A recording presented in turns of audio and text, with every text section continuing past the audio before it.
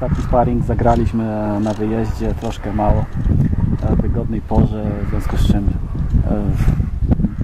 e, kibice nie mieli szansy, myślę, obejrzeć e, tego spotkania. E, Czy mógłbyś powiedzieć, jak ono wyglądało, jak ono przebiegało? Wiemy jedno, zagraliśmy w mocno odmłodzonym składzie. No dokładnie.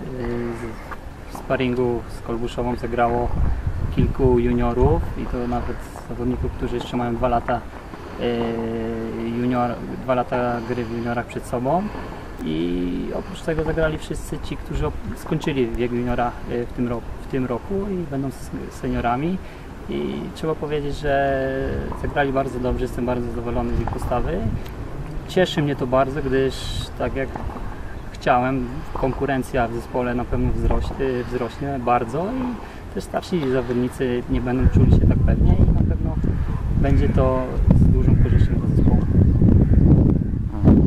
Wynik 3-0 wskazywałby, że e, spotkanie przebiegało do, do, dość łatwo. Czy tak to faktycznie wyglądało, czy po prostu mecz się szczęśliwie ułożył dla nas? No nie, myślę, że wynik odzwierciedla y, to, co działo się na boisku. Mieliśmy przewagę w tym meczu.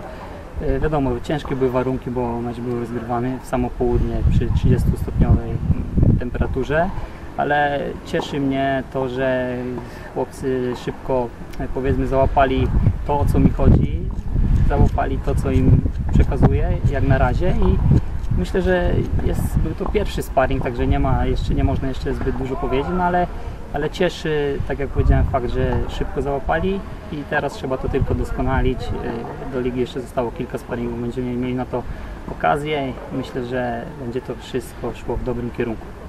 E, W bramce zobaczyliśmy też e, młodego bramkarza.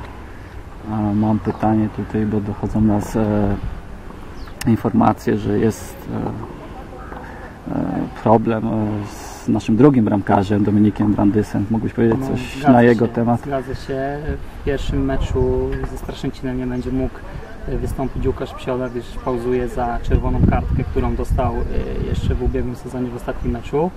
E, Drugi bramkarz Dominik Brandys ma problemy z biodrem dosyć poważne i wynosi się na dłuższą przerwę, tak więc w sparingach na pewno po kilka minut, kilkanaście, może kilkadziesiąt minut będzie dostawał e, szansę nasz wychowanek Patryk Kaczor, który y, też ma jeszcze dwa lata juniora, także jest to młody chłopak, no ale no, myślę, że sobie poradzi. Myślę, że sobie poradzi. Dziękuję.